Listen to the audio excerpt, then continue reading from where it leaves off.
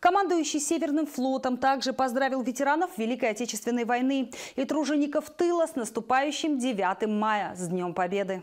Подвиг поколения победителей всегда будет примером мужества, неизгибаемой воли и беззаветного служения Отечеству.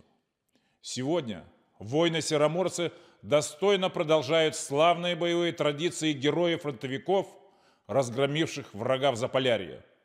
Мы гордо несем военно-морской флаг России на океанских просторах, надежно обеспечиваем безопасность России в Арктике. Дорогие ветераны Великой Отечественной войны, от всей души поздравляю вас с 75-й годовщиной Победы. Желаю вам крепкого здоровья и мира, счастья и благополучия. С Днем Великой Победы!